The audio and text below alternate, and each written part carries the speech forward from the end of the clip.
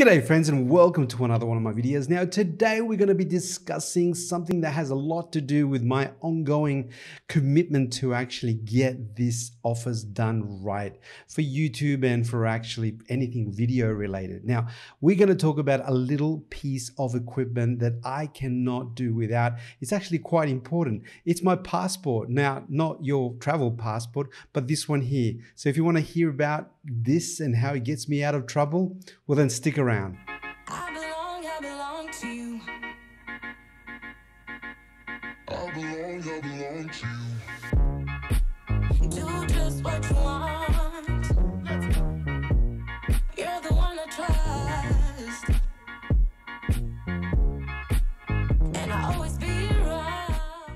and welcome back. Now, this guy is the X-Rite Color Checker Passport. I found out about this little device on DSLR Video Shooter. Caleb knows his stuff, and if you're ever looking for a channel to learn everything about video and lighting and audio, he's the right guy. So check out the link to his channel on my video. Now, he told me all about this particular device. Now, I'm gonna give you a little sample of how I use it. Obviously, it's to color grade or even, you know, just make sure that your white balance is actually done correctly. Now, this little device is foldable, so you can actually put it away and stick it in your bag. It's quite cool. It's actually got three different uh, areas. It's got that particular part, and then it's actually got this part here, uh, that will help you do your white balance. Now, I find it so valuable because I can just put it in my bag and forget about it. And anytime that I feel that the lighting conditions aren't right or I'm too rushed and I can't work out my white balance correctly uh, on the fly, I can use this to help me color grade it after the fact, but also put a good point of reference in the video in case I'm um, color grading at a later stage. So this is pretty good. It actually gets me out of trouble. Now in this environment, uh, obviously it's a brand new uh, setup and I really haven't had the chance to um, white balance the cameras correctly. I haven't uh, had a chance to properly set the lighting in order to give me the right conditions.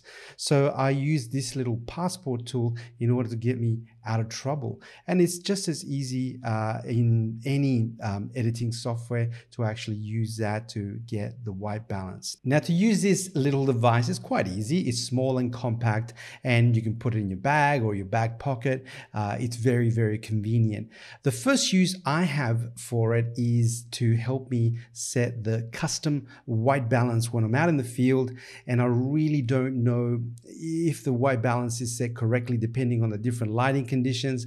I'll pull this little sucker out and then I'll take a picture of it and in my M50 I will adjust the white balance using the photograph that I've taken. Now that is good to set your custom white balance. On the other side too, it does have all these color squares. Now those are to be more precise in post-production when you're trying to get the colors right, especially if it's a tricky scene. So when you're out in the field, put this on a table and take some footage of it. That way you'll have the colors recorded and then you'll be able to do some pretty accurate color correction. Now, this particular device is one of the most expensive ones. It actually comes uh, with a guarantee that it's actually pretty accurate. And, um, and because uh, you can actually close it and sort of lock it away from any sunlight, like a little passport, um, the color inside the little squares uh, should be protected from any fading for quite a period of time. So you'll have accurate color uh, on this little device um, for as long as you look after it and then take care of it. So it's quite handy to use. Like I said, I'll put a link down below uh, to Caleb's video so you can actually see how he uses it.